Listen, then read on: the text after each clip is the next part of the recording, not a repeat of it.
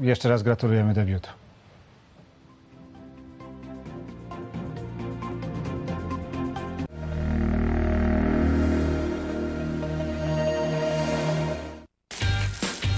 Voilà, pardon, ale szykujemy małe